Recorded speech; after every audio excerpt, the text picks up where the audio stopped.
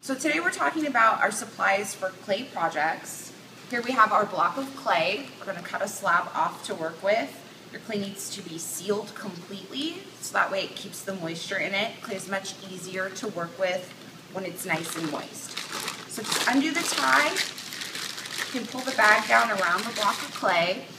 This tool here is called your wire cutter. This is what you're going to use to cut off your slab.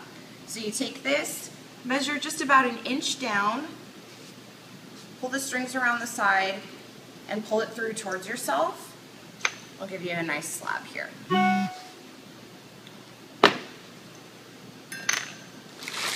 As soon as you're finished cutting your slabs, you're going to want to close your clay bag and reseal it again to keep the moisture in.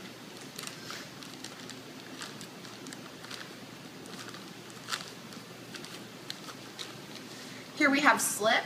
This is just watered down clay that's meant for attaching pieces together.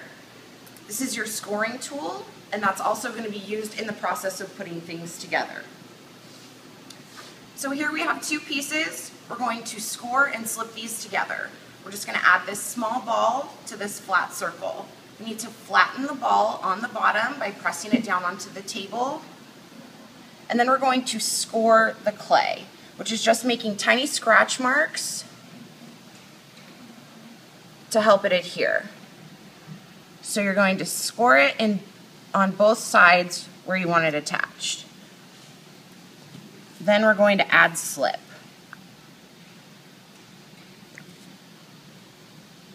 Press it on. And we're good. We also have a spritzer bottle.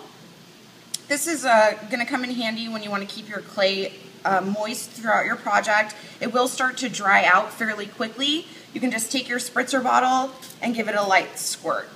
That'll keep it nice and moist. Uh, we also have a skewer for a cutting tool. This can be used uh, when you're making shapes. You just pull it through and pull the piece off. It gives you a nice clean cut.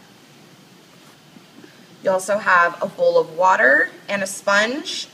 Sponges are great for smoothing out your clay. And again, the water just to keep everything nice and moist. And then we have our canvas mat that we're going to work on top of today to avoid having our clay stick to any surfaces.